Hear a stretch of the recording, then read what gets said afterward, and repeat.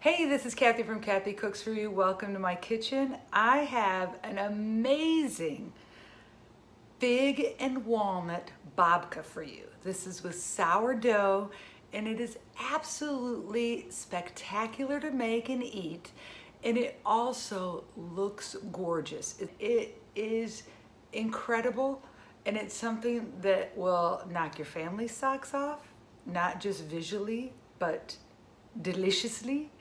And it's something different to take somewhere, whether it's to a work function, just work itself, a holiday party. This will be something that people will be like, who made that? So watch this recipe and try it yourself.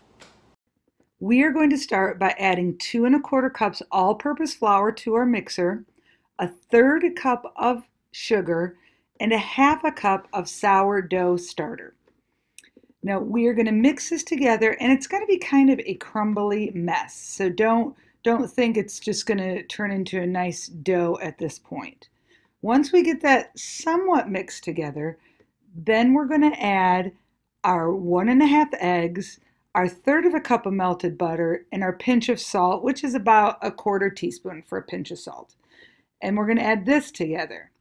At this point, if you notice that your dough does not look um, like it's coming together at all, it's okay if you add one to two teaspoons of water.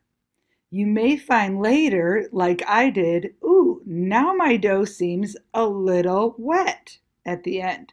And you'll see I add a little bit of flour at the end to get it to not be so wet. Moral of the story, I really should have waited a little bit to let that dough come together.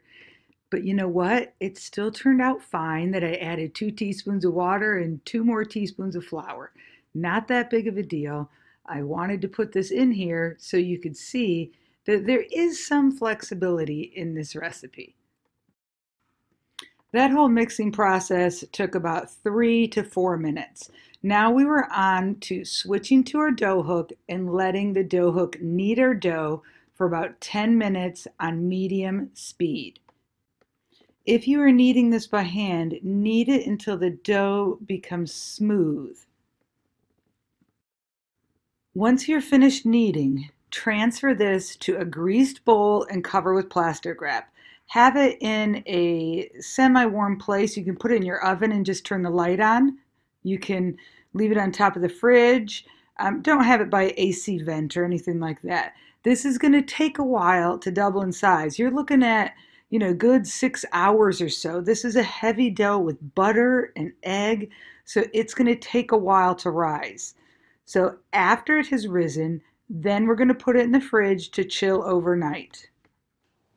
Also, check out my sourdough playlist. You will not only learn how to make sourdough starter, but you will find recipes on what to do with that starter. And subscribe below. Okay, now the super fun part. You want to roll your dough out to about 18 inches by 12 inches, something like that. And then we're going to add our fig preserve. I bought an 11 ounce jar of fig preserve and I used a little over half of it. And it was perfect. You can use another kind of preserve. I wouldn't go to a jelly. Preserves are usually thicker, they have pieces of fruit in them, and they're higher quality. So that's why I like to use this. And then we're going to just break up walnuts. Now this time I did not toast my walnuts. You probably should. You're going to have much more flavor if you toast them. It was early in the morning because I just took the dough out, and so I didn't toast them. One thing about the dough that I want to tell you you are going to be rolling out chilled dough.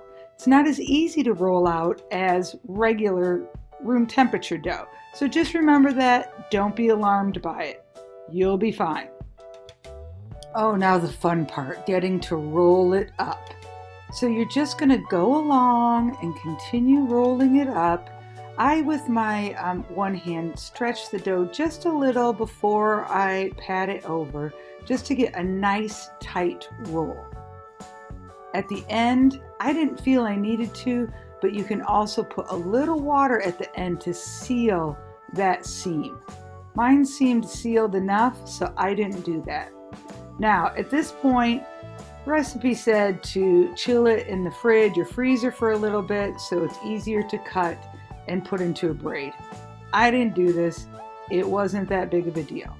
So I cut it with a butter knife, just one slice straight down the middle, and then we're going to twist it. And you're gonna see that you're gonna wanna keep these, these layers on the top because that's what makes the dough so beautiful. See all those cut layers? Those you want to show. See how I, I, I make it so those show right there? That's where the beauty comes and why this is so impressive. Once we get it twisted, we're going to place it in our bread pan. I just curl those edges under, get my bread pan that is greased, and I place it in it. Oh, now guys, it was supposed to be rising four hours at this point, but I didn't do it. I put it in the oven just like that, and look what came out. 45 minutes later, this gorgeous masterpiece came out. Absolutely spectacular. It's not in the video, but also a simple syrup of two tablespoons of sugar and two tablespoons of water. After it was boiled and dissolved, I spread that over the top. It keeps it moist and delicious. Thanks for watching this amazing recipe. Couple things for you. After you braided your sourdough or twisted it and put it in your pan, you're supposed to let it rise for four hours. I did not do that process and it still turned out really well. It could be the reason why I had to bake it a little longer because it was uh, you know, a little more dense. It was fabulous. So um, next time I'm gonna let it rise and we'll see which I like better. Thank you so much for watching Kathy Cooks For You.